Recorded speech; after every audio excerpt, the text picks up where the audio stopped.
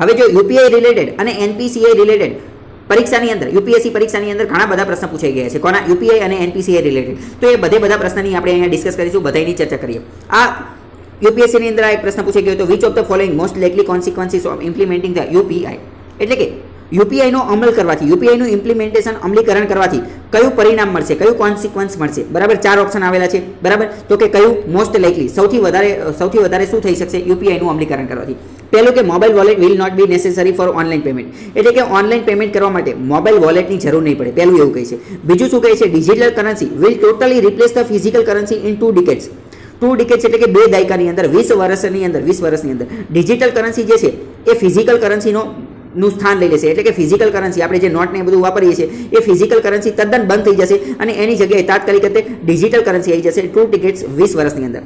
ત્રીજું શું છે કહે છે કે FDI inflow will drastically increase એટલે કે તાત્કાલિક અત્યારે ડ્રાસ્ટિકલીનો મતલબ શું થાય? તાત્કાલિક, ખૂબ જ ટૂંકા સમયની અંદર એફડીઆઈ ફોરેન ડાયરેક્ટ ઇન્વેસ્ટમેન્ટ જે છે, એ ભારતની અંદર વધી જશે. અને ચોથું શું કહે છે? Direct transfer of subsidy to poor people will become very effective એટલે કે જે ગરીબ લોકો હોય ગરીબ લોકોના એકાઉન્ટની અંદર સરકાર direct DBT direct transfer subsidy જે ડાયરેક્ટ ટ્રાન્સફર કરે છે, એ એકદમ સરળતાથી ટ્રાન્સફર કરી શકાશે. એ, એવો એનો ઉદ્દેશ્ય છે. તો આનો જવાબ શું આવશે? આનો જવાબ જો પહેલાં તો આનો જવાબ શું આવશે? એ આપણે સમજવાની કોશિશ કરીએ. આનો જવાબ પહેલાં તો એ આવશે. એ શા માટે આવશે? એ પણ જોઈએ. એક રીતે જોઈએ તો આ ટ્રિકી ક્વેશ્ચન છે. કેમ? કારણ કે આની અંદર આપેલું છે મોસ્ટ લાઇકલી યુપીઆઈનું ઇમ્પ્લિમેન્ટેશન થવાથી ઘણી બધી વસ્તુ થઈ શકે. પરંતુ પ્રશ્ન એવો પૂછેલો છે કે મોસ્ટ લાઇકલી એટલે કે સૌથી વધુ શું થઈ શકશે? તો સૌથી વધુ તો આ થઈ શકશે કે મોબાઈલ વોલેટ મોબાઈલ વોલેટની જરૂર નહીં પડે. કારણ કે મેં તમને અત્યારે અત્યારે ફરીથી કહી દઉં કે યુપીઆઈની મદદથી એક વ્યક્તિ બીજા વ્યક્તિના મોબાઈલ બેંક એકાઉન્ટની અંદર એક વ્યક્તિ બીજા વ્યક્તિના બેંક એકાઉન્ટમાં યુપીઆઈની મદદથી ડાયરેક્ટ પૈસા ટ્રાન્સફર કરી શકે છે. વોલેટની કે એ કોઈની જરૂર પડતી નથી એટલે મોબાઈલ વોલેટની જરૂર નહીં પડે.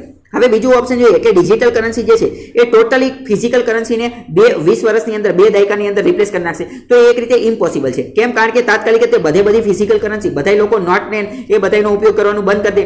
તો એવું તો બની શકે નહીં. કારણ કે ઘણા બધા લોકોને આ ફાઇનાન્શિયલ ઇન્ક્લુઝન હોય અથવા તો ઘણા બધા લોકો જે છે એને ડિજિટલ લિટરસી ડિજિટલ સાક્ષરતા ન હોય તો પછી એ એ તો ફિઝિકલ કરન્સી જ વાપરવાના છે. એટલે એવું ન બની જાય કે તાત્કાલિક બંધ થઈ જશે વીસ વર્ષની અંદર, આવનારા વીસ વર્ષની અંદર. ત્રીજું કે એફડીઆઈ તાત્કાલિક ડ્રાસ્ટિકલી ઇન્ક્રીઝ થઈ જશે, તો એ પણ બની શકે નહીં. અને ત્રીજું કે ડાયરેક્ટ ટ્રાન્સફર ઓફ સબસિડી ગરીબ લોકોના ખાતાની અંદર સબસિડી ડાયરેક્ટ ટ્રાન્સફર થઈ શકશે. પરંતુ એ એનો મુખ્ય ઉદ્દેશ્ય નથી. ડી જે છે એ પણ સાચું છે. અહીંયા જોઈએ તો ડી જે છે એ પણ સાચું છે. પરંતુ એનો મુખ્ય ઉદ્દેશ્ય નથી. મુખ્ય ઉદ્દેશ્ય તો માત્ર એ છે. તો આ તમને ખબર હોય બીજો પ્રશ્ન જોઈએ, યુપીએસસીમાં જ પૂછાયેલો છે. બીજો પ્રશ્ન શું છે?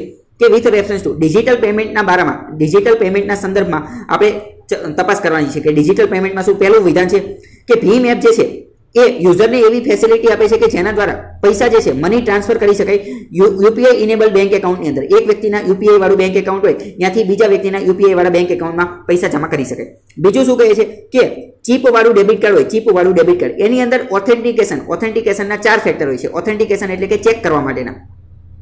જ્યારે ભીમ એપની અંદર માત્ર બે ફેક્ટર હોય છે ઓથેન્ટિકેશન માટેના બે ફેક્ટર હોય છે. હવે જો આ પ્રશ્ન એક રીતે જોઈએ તો ટેકનિકલ છે. પરંતુ પહેલું વિધાન જે છે એ કંઈ ટેકનિકલ નથી. પહેલું વિધાન સાચું છે એ તો આપણને ખબર પડી છે કે ભીમ એપનો ઉપયોગ કરી અને એક યુપીઆઈ વાળા ખાતામાંથી બીજા યુપીઆઈ વાળા ખાતામાં પૈસા ટ્રાન્સફર કરી શકે છે. એ સાચી વાત છે. પરંતુ બીજું વિધાન જે છે એ ટેકનિકલ છે. એટલે એના વિશે આપણે વધારે ચર્ચા નહીં કરવી. પરંતુ બીજું બીજું વિધાન ખોટું છે. બરાબર? એટલે અત્યારે તમે ખાલી એટલું યાદ રાખજો કે બીજું વિધાન ખોટું છે. કેમ? કારણ કે જનરલી આવા ટેકનિકલ પ્રશ્ન જે છે એ પૂછાતા નથી. અને ટેકનિકલ પ્રશ્ન પાકા પણ ન કરવો જોઈએ. કારણ કે એ જ પૂછે એવું જરૂરી હોતું નથી. એની કોસ્ટ ઇફેક્ટિવ ખૂબ ઓછી છે. એટલે પહેલું વિધાન સાચું છે. બીજું ખોટું છે એ અત્યારે યાદ રાખી લો બીજું હવે એનપીસીઆઈ રિલેટેડ એક પ્રશ્ન જોઈએ કે એનપીસીઆઈ રિલેટેડ આ નીચેના મુદ્દા વિધાનો જે છે એ તપાસવાના છે. પહેલું વિધાન શું આપે છે? કે એનપીસીઆઈ જે છે એ ફાઇનાન્શિયલ ઇન્ક્લુઝન ભારત દેશના ફાઇનાન્શિયલ ઇન્ક્લુઝનમાં મદદ કરે છે. એટલે કે help in promoting financial inclusion with આ સાક્ષરતા, વિત્તીય સાક્ષરતાની અંદર મદદ કરે છે. એટલે કે બેન્કિંગ ફેસિલિટી દરેક વ્યક્તિ સુધી પહોંચી શકે એમાં એનપીસીએ મદદ કરે છે. બીજું શું છે? એનપીસીએ દ્વારા રૂપે કાર્ડ જે છે, રૂપે રૂપે કાર્ડ પેમેન્ટ સ્કીમ જે છે એ રૂપે કાર્ડ એનપીસીએ દ્વારા રજૂ કરવામાં આવેલું છે. તો જવાબ શું આવશે? જવાબ આવશે બંને વિધાન સાચા છે, બંને વિધાન સાચા છે. કેમ? કારણ કે NPCI national payment corporation of India એના દ્વારા ભારતની અંદર ઘણી બધી સ્કીમ ચલાવવામાં આવે છે. આ રૂપે કાર્ડને નેશનલ કોમન મોબિલિટી કાર્ડને તો આ બધા, આ બધી સ્કીમ જે છે યુપીઆઈ યુનિફાઈડ પેમેન્ટ ઇન્ટરફેસ તો આ બધાની મદદથી શું થાય? કે દરેકે દરેક, ભારતના દરેક વ્યક્તિમાં ફાઇનાન્શિયલ ઇન્ક્લુઝન થાય છે, એટલે કે દરેક વ્યક્તિ સુધી બેન્કિંગની સુવિધા સગવડ પહોંચી શકે એવી કોશિશ કરવામાં આવે તો પહેલું સાચું છે. અને રૂપે કાર્ડ એનપીસીઆઈ દ્વારા ચલાવવામાં આવે છે, તો બંને વિધાન સાચા છે. પછી બીજો યુપીએસસીમાં આ પ્રશ્ન પૂછાઈ ગયેલો હતો કે which of the following links all the ATMs in India એટલે કે ભારત દેશની અંદર જેટલા પણ એટીએમ જે છે, જેટલા પણ એટીએમ એને લિંક કરવાનું કાર્ય કોણ કરે છે? એટલે કે ફોર એક્ઝામ્પલ માની લો કે એક એસબીઆઈનું એટીએમ છે, એક પીઆઈબીનું એક એચડીએફસીનું આઈસીઆઈસીનું તો બધાના એટીએમ જે છે, તો એને લિંક કરવાનું કાર્ય કોણ કરે છે? તમને પ્રશ્ન થાય કે આમને લિંક કરવાની જરૂર શું છે? તો એમને લિંક કરવાની જરૂર એટલે છે ફોર એક્ઝામ્પલ માની લો કે એક વ્યક્તિ જે છે, એ એસબીઆઈના એસબીઆઈનું એટીએમ જે છે, ત્યાં જઈ એને દસ હજાર ઉપાડે છે. દસ હજાર. અને એના એકાઉન્ટમાં પચાસ હજાર છે. બરાબર? અને હવે તાત્કાલિક, એ જ સમયે, એ જ સમયે, એને, અથવા તો એની એક બે મિનિટ પછી, તાત્કાલિક પીઆઈબીના account Punjab Punjab bank Punjab national બેંકનું જે છે ત્યાં જઈ અને બીજા પાંચ હજાર પડે તો હવે જો, આ એસબીઆઈનું એટીએમ આ પીએબી સાથે લિંક ન થયેલું હોય, તો આમાંથી જે દસ હજાર એના એકાઉન્ટમાં પચાસ હજારમાંથી દસ હજાર ઉપડી ગયા એ આમાં અપડેટ થાય નહીં એ આમાં અપડેટ થાય નહીં. એટલે બધા એટીએમ લિંક હોવા જરૂરી છે, બરાબર? તો એ કરવાનું કાર્ય કોણ કરે છે? એ કરવાનું કાર્ય કરે છે NPCI NPCI national payment corporation of India હવે અહીં તમે એ સમજો કે એટીએમને લિંક કરવાનું કાર્ય કોણ કરે છે? તો એનપીએ આ બધા સોરી એક મિનિટ. આ બધા એટીએમ જે છે, બધાને એટીએમને લિંક કરવાનું કાર્ય માટે એક સ્વિચ આવેલી છે. આ બધા એટીએમને લિંક કરવા માટેની એક સ્વિચ આવેલી છે. એને શું કહે છે?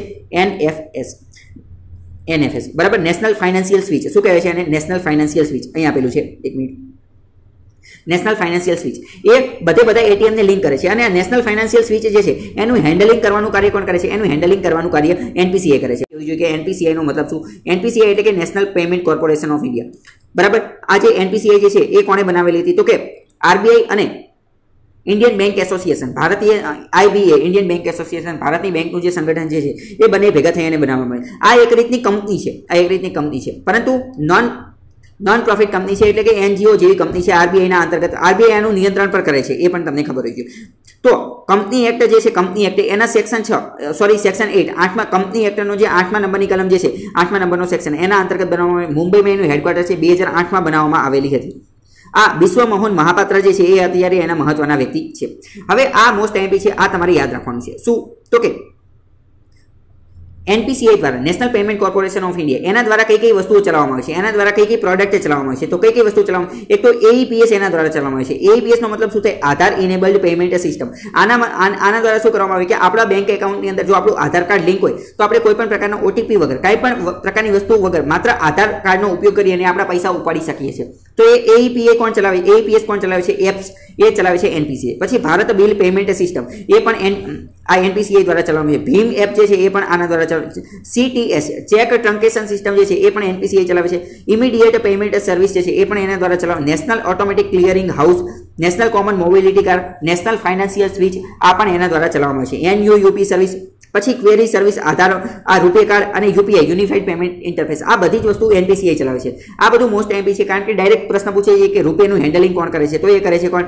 એનપીસીઆઈ બરાબર? એનપીસીએ વિશે બીજી બે હજાર આઠમાં બનાવવામાં આવેલી હતી. કંપનીઝ એક્ટ બે હજાર તેરનો જે છે, એના સેક્શન એઇટ પ્રમાણે બનાવવામાં આવેલી હતી. રિઝર્વ બેંક અને આઈબી એટલે કે ઇન્ડિયન બેંક એસોસિએશન એ બધા ભેગા થઈ એને બનાવેલી હતી બે હજાર આઠની અંદર. આ તમને ખબર હોય છે. હવે, આ એનપીસીઆઈ જે છે એ ઇન્ટરનેશનલ પેમેન્ટ લિમિટેડ પણ ચલાવે છે. આંતરરાષ્ટ્રીય અમુક પ્રકારના વ્યવહાર જે છે એ પણ કરે છે. કેમ? કારણ કે મેં તમને કીધું યુપીઆઈ આ યુનિફાઈડ યુનિફાઈડ પેમેન્ટ ઇન્ટરફેસ અને રૂપિયા આ બંને એનપીસીઆઈ દ્વારા ચલાવવામાં આવે છે. અને રૂપિયા કાર્ડ ભારતે છેલ્લા ઘણા સમયથી આપણે વિદેશની અંદર પણ લોન્ચ કરેલું છે. સાઉદી અરેબિયા અને ભૂતાન આ બધા અમુક અમુક દેશમાં આપણે અહીંયા પણ રૂપિયા કાર્ડ લોન્ચ કરેલું છે. તો એક રીતે સારી વસ્તુ કે પહેલાં તો એનપીસીઆઈ ફાઇનાન્શિયલ ઇન્ક્લુઝનમાં પણ મદદ કરે છે. એટલે કે દરેકે દરેક લોકો સુધી બેંકની સુવિધા પહોંચી શકે એવી પણ મદદ કરે છે.